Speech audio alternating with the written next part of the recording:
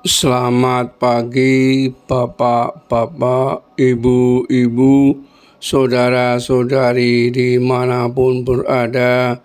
Shalom berkah dalam. Berjumpa kembali dengan Sugeng Pramono dalam renungan Lukas 17 ayat 7 sampai 10.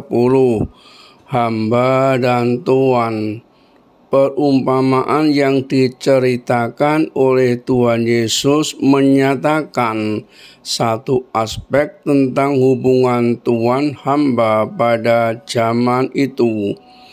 Meskipun latar belakang yang sebenarnya terjadi di zaman lain, tetapi aplikasi dari perumpamaan ini bersifat abadi dengan kata lain, pesan yang disampaikan di dalam sketsa kecil tentang kehidupan pertanian di abad pertama itu masih tetap berlaku dan relevan sampai saat ini.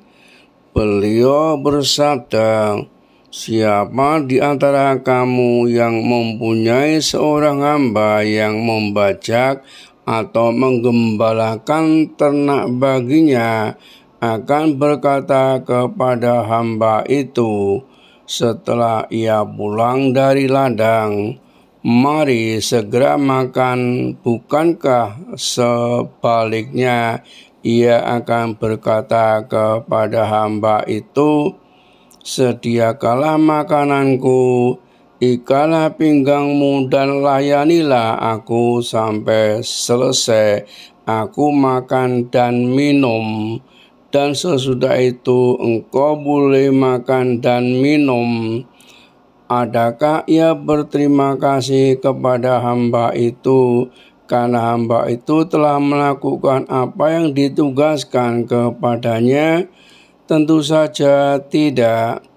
Tuhan Yesus melanjutkan, "Demikianlah juga kamu, apabila kamu telah melakukan segala sesuatu yang ditugaskan kepadamu, hendaklah kamu berkata, kami adalah hamba-hamba yang tidak berguna, kami hanya melakukan apa yang harus kami lakukan.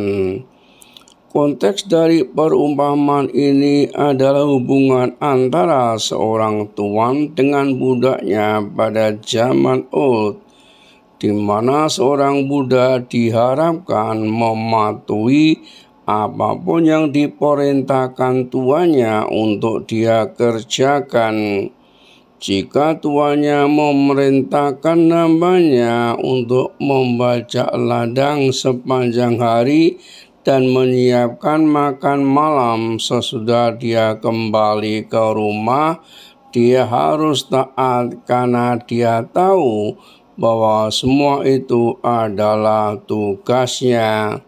Sederhana sekali, dan di dalam melakukan tugasnya, seorang Buddha tidak menerima ucapan terima kasih karena mengucapkan terima kasih kepada kepada Buddha adalah hal yang tidak biasa. Apakah yang ingin dikatakan Yesus dalam perumpamaan ini?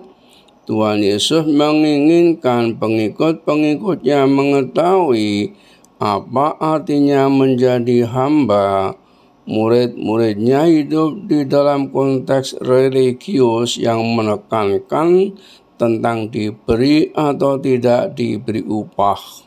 Mereka lebih dari satu kali berbantah-bantahan tentang siapa di antara mereka yang terbesar di dalam kerajaan surga.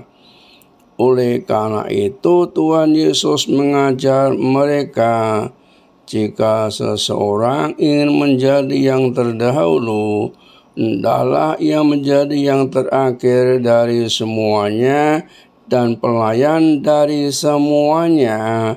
Markus 9 ayat 35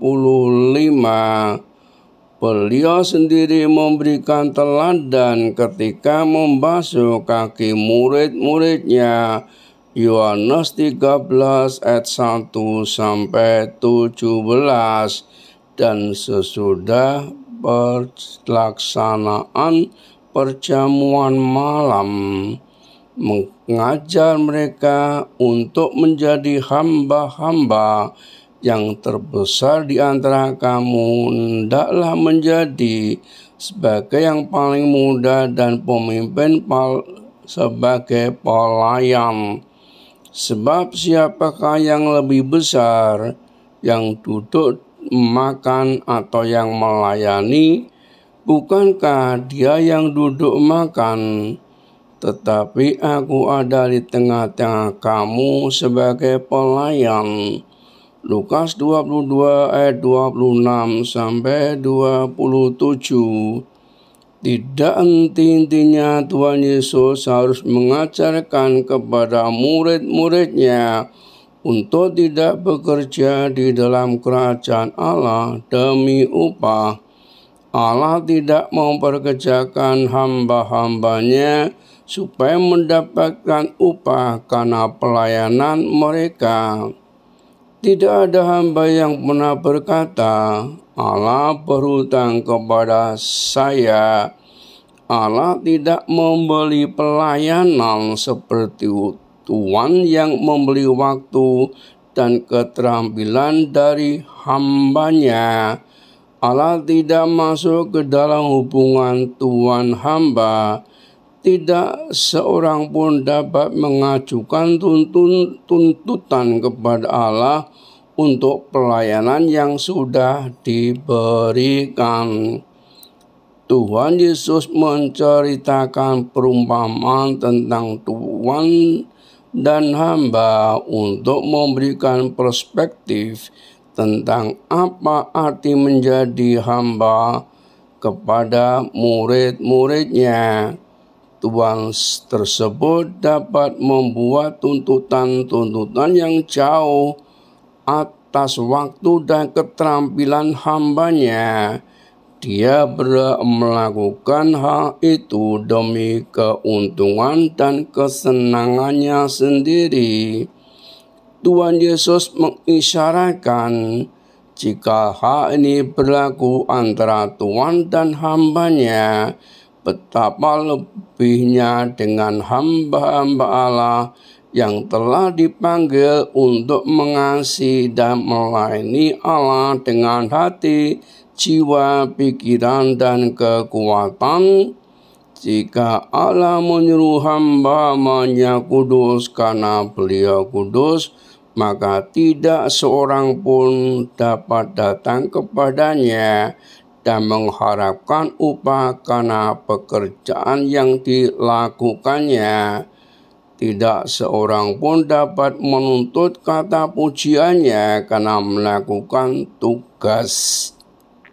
Jika Allah memberi pujian dan upah, beliau melakukannya karena anugerah, bukan karena balas jasa. Salam dan doa.